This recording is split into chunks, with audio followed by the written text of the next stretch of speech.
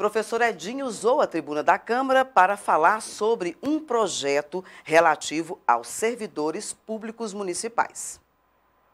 Então, a emenda constitucional 120, ela foi aprovada é, em maio é, de 2020 e o sindicato solicitou que o prefeito enviasse um projeto de lei para a Câmara, porque são 36 servidores cadastrados do Quines que teria direito de receber. Então, o governo federal complementa esse valor, mas como tem 96 servidores trabalhando nessa área, nós pedimos que o prefeito enviasse esse projeto para a Câmara Municipal para que todos recebessem esse piso nacional é, de combate a endemias é, e agente comunitário de saúde.